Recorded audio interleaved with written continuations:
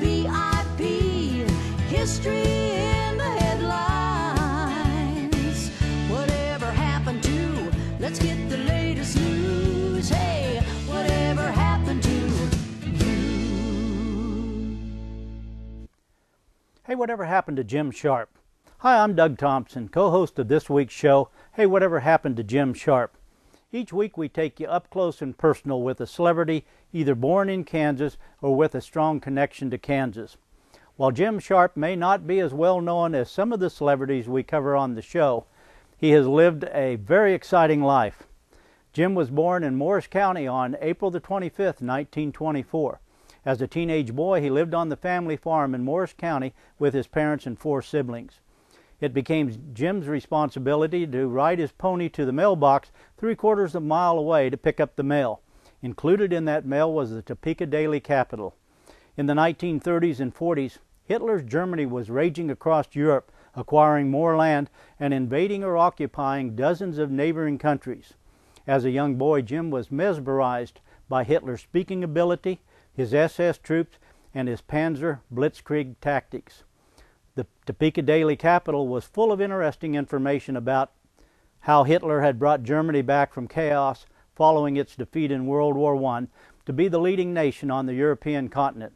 Hitler put millions of unemployed back to work building highways, schools, libraries, and established conservation and other work programs. He established the Hitler Youth and put the youth to work on useful activities which they compared to our Boy Scouts. Each time Adolf Hitler appeared in public, thousands of Germans would be there to greet him. The stadiums would be full and the streets lined with enthusiastic crowds amid waving Nazi flags.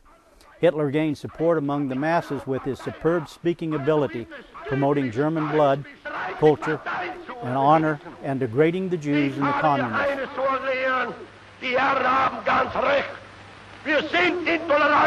Die Herren haben ganz recht. Wir sind intolerant. Ich habe mir ein Ziel gestellt, nämlich die 30 Parteien aus Deutschland hinauszufegen. Sie verwechseln uns mit ihresgleichen selbst. Wir haben ein Ziel uns gewählt und verfechten es fanatisch, rücksichtslos bis ins Grab hinein. It took a few years for the countries of the world to realize that Hitler meant what he said and that his goal was to establish a new order of Nazi Germany in continental Europe. Hitler was appointed Chancellor in 1933 and transformed the Republic into the Third Reich, a single party dictatorship. By 1941, Hitler was well on his way to accomplishing his goals as his army had invaded or occupied 95% of Europe, most of North Africa, and was positioned at the English Channel to invade England. Hitler now controlled an area that was roughly the equivalent of the landmass controlled by the Holy Roman Empire. Hitler and his chain of command organized the people of these countries to support Germany's war effort with slave labor from his factories and military conscription for the German army. He would exterminate the Jewish people, extinguish the national life of the Polish and Soviet Russians. France was reduced to a vassal and incorporated into the Third Reich. By 1941, Germany had invaded Russia. Meanwhile, in Morris County, farm boy Jim Sharp was reading about the German war machine and its powerful Luftwaffe Air Force under the command of Hitler's hand chosen successor, Hermann Goering.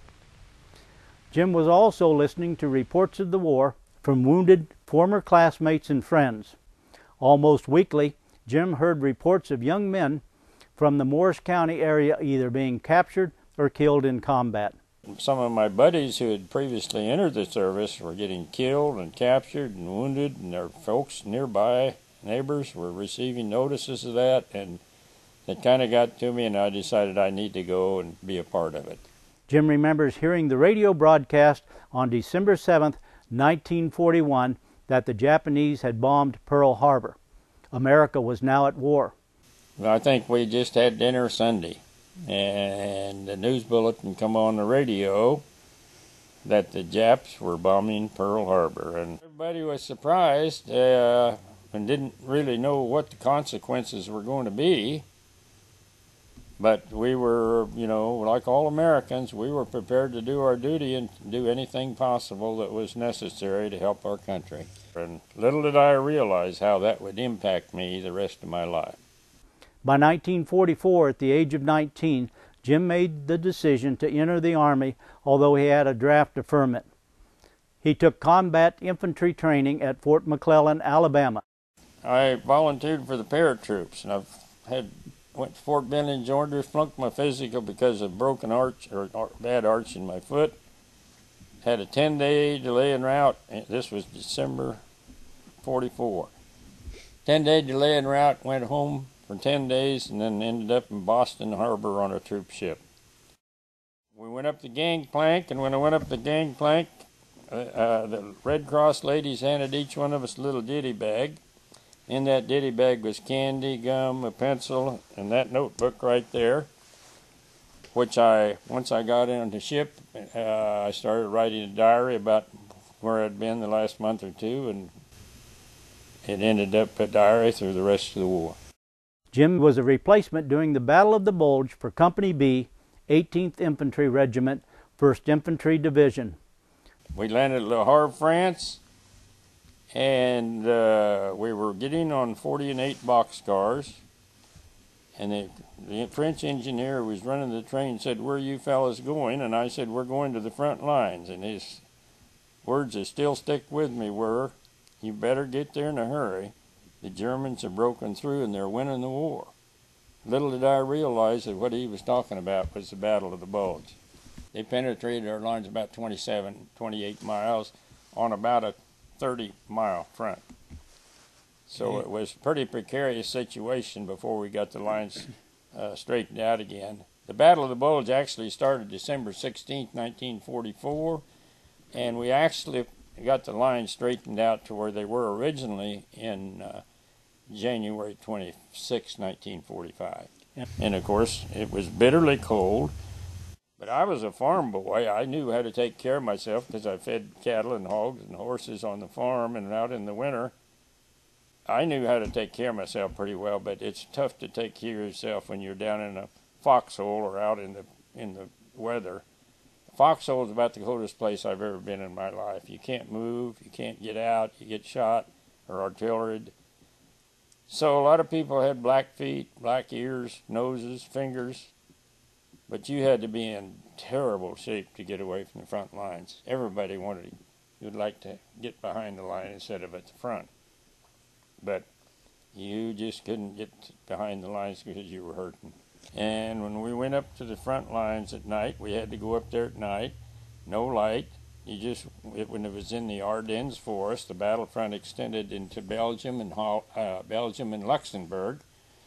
And uh, the first thing we got to the front line, the, the platoon sergeant asked us if we understood any German, and of course I did not understand any German. I just graduated from White City and hadn't had any language, but he said, "Well, there's several words you need to understand in German up here," and he said, "Those words are six words. Come Sie hier mit handy hole," and he said that means come here with your hands over your head and make sure that when you say those words or shout them, that you're in cover, under cover, because you'll either get shot at or you'll capture some some prisoners. Jim earned three Bronze Stars and was wounded in combat in Uslar, Germany. Following the unconditional surrender of Germany, he helped arrest members of the Nazi leadership, including civilians, Gestapo, SS staff, and the highest level of the Nazi leadership. Jim was then chosen as one of the select guards for the Four Power International Military Tribunal at Nuremberg for the post war trials. While on duty for the Nuremberg trials, Jim was face to face with the evil Nazi war machine and the people he had read about in the Topeka Daily Capital as a young farm boy in Morris County. Prisoners Schacht, Seyss-Inquart, von Papen, Dönitz, and the rest of the 20 are led by Hermann Goering. On trial for their lives, they seem less than supermen, especially Rudolf Hess, who at first tried to persuade Allied doctors that he is insane. After the war was over, uh, we learned that the Allies, the four powers, that is Russia, France, Great Britain, the United States, were going to have a trial of the Nazi leaders that caused this World War II. And my company commander said and told the company at one of the meetings that he was to recommend people for guard duty at Nuremberg, where they were going to have the trial. And I was an NCO, I was a staff sergeant, and he said first they were going to select staff sergeants, and later he come to me and said I would like to recommend you. He said I was interested in going home, but I didn't have enough points to go home. So he said, if you if you will agree to stay three months, which is length of the trial supposedly, I'm gonna I'm gonna recommend you, and you're gonna have to go through an interview process to be selected. Well, long story short, I went through the process. I was selected, and I was assigned as a sergeant of the guard at Nuremberg in September. Uh, let's see, six months after the war, September 1945.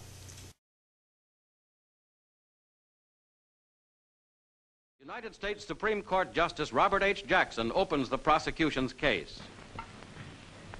The privilege of opening the first trial in history for crimes against the peace of the world imposes a grave responsibility. The wrongs which we seek to condemn and punish have been so calculated, so malignant, and so devastating that civilization cannot tolerate their being ignored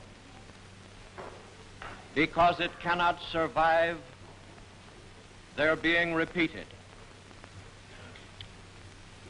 That four great nations, flushed with victory and stung with injury, stay the hand of vengeance and voluntarily submit their captive enemies to the judgment of the law is one of the most significant tributes that power has ever paid to reason. The first time I saw them, they were in the recreation ward out walking. And I thought, well, these were supposed to look like monsters. That's what I'd learned in, in basic training, that they were evil people. Yet here they were strolling around under the trees in this recreation area, and they looked like they could have been walking in a city park back home. We weren't supposed to talk to them. We weren't supposed to make friends with them or converse with them at all. But eventually those rules were broken because when we would accompany them to their lawyer or to the doctor or wherever they needed to go, sometimes they had to wait and they'd ask us questions because they could speak pretty good English and we could speak German, some. So we got, we got, uh, the rules were eventually relaxed and we got to really visit with them. Jim was able to obtain the autographs of nine of the Nazi leaders on trial.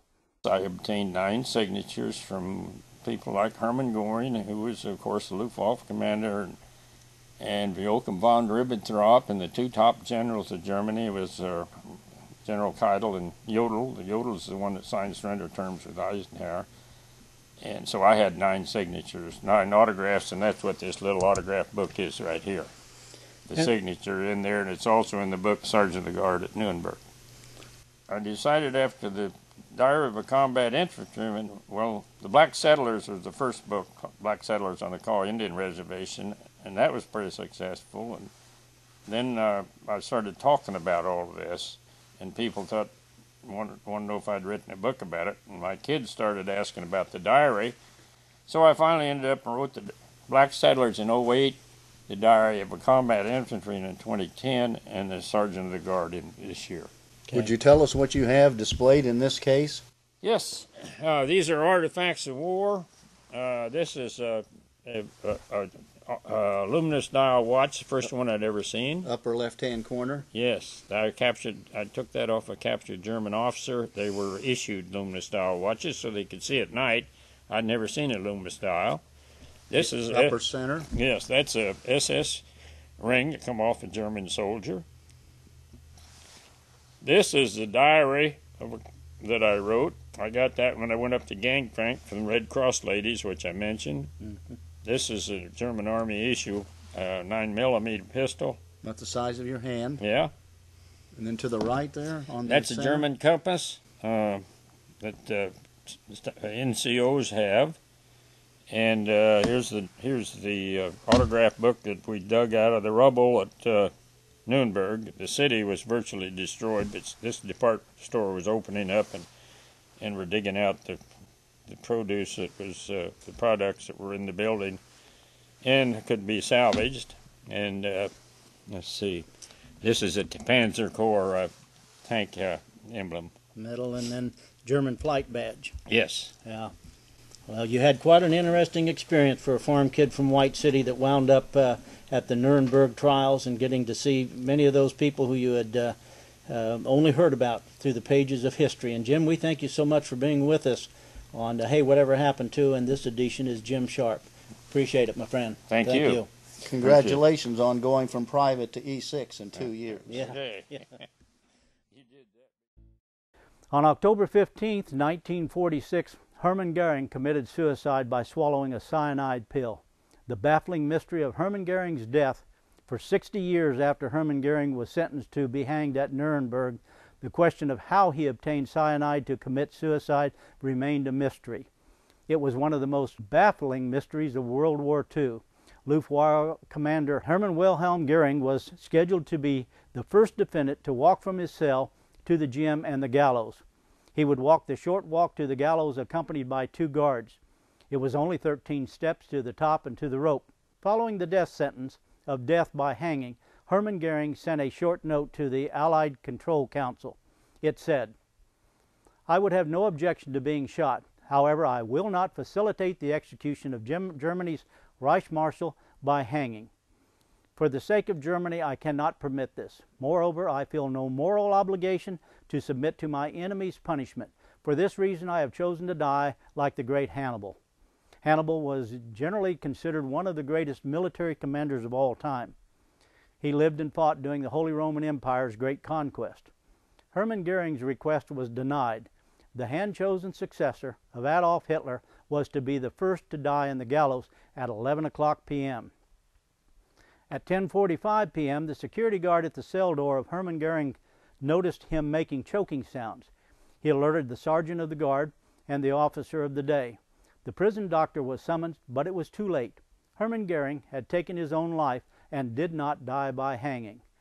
The real answer, according to Jim Sharp, was told to him by Herbert Lee Stivers of Hesperia, California, in 2005.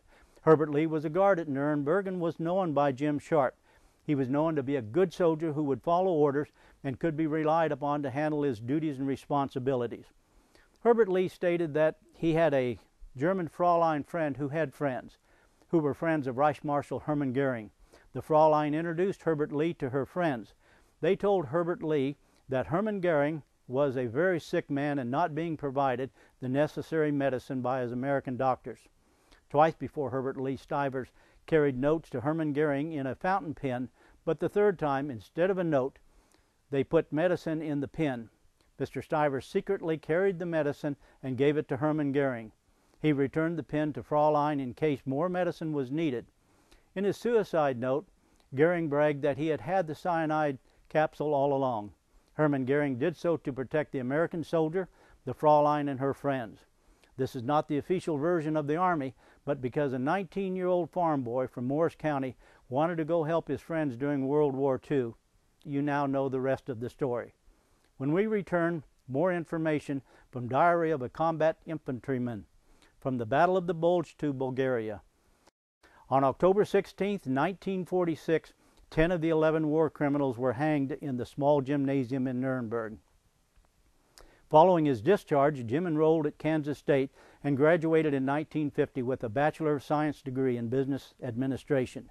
He retired from Kansas Farm Bureau as manager of the information systems and became an independent business systems consultant. He also taught information classes at Kansas State and at Fort Riley. Jim is the author of other books, including Diary of a Combat Infantryman and Black Settlers of the Kaw Indian Reservation.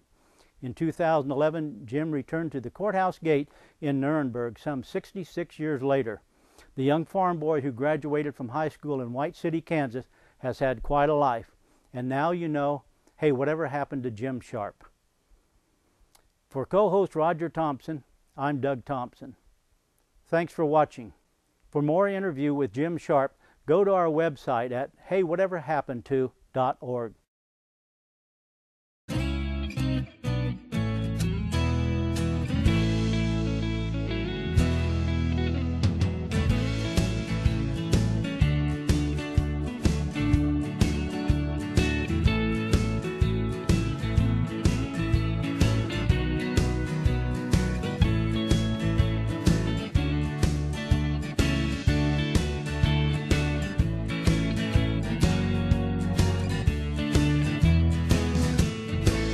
Bye, everybody.